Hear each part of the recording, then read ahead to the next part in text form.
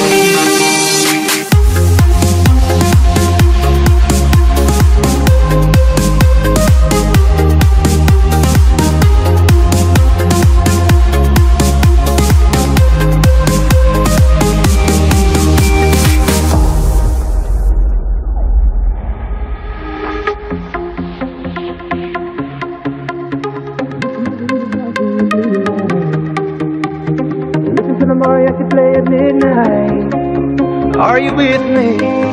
Are you with me? I wanna dance by water beneath the Mexican sky. Drink some margaritas by the blue lights.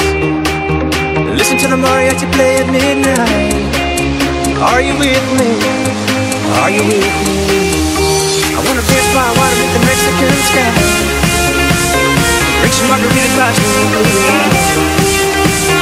Listen to the mariachi play at midnight.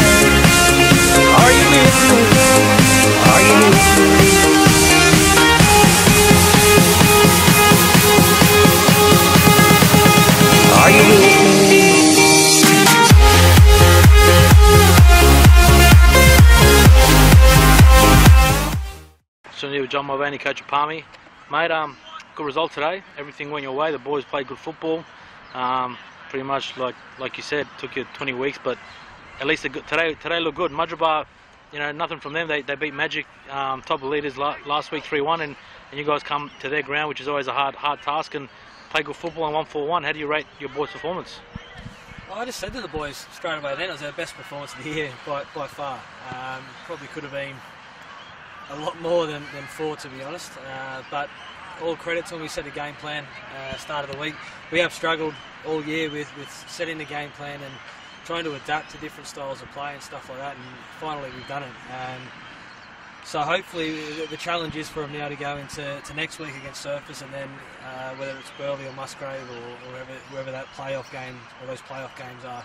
So that, that's that's for them now to, to stay at that level, and fingers crossed we can we can get out of it.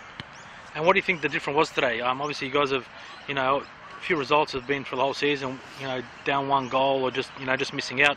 What was the difference today for you guys in getting that result?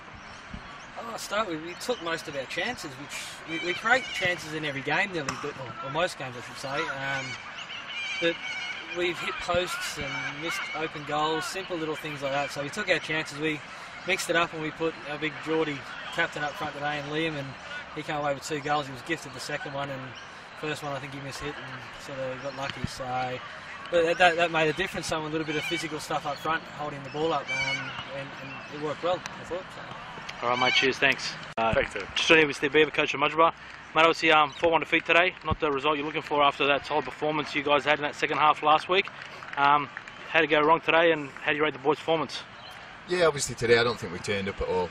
Um, it's funny when I got here in dressing room, they're a bit of a, a, um, a more down attitude. I don't know the right word to describe it, to describe it, but um, we weren't as buoyant as we were last week. I think, I don't know, maybe sometimes it could be pressure, maybe sometimes it could be nerves.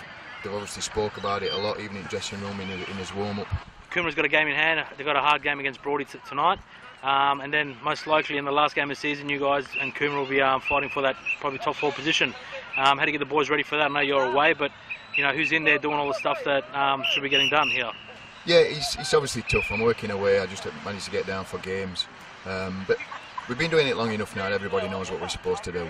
So going into every game same, but I think we've got to take a bit of pressure off ourselves.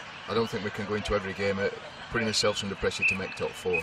It's been a tough year. I think we've got a great set of players, a great, a great atmosphere at club. We've got to enjoy it. I don't. I think if we come putting too much pressure on ourselves, we're not going to enjoy it.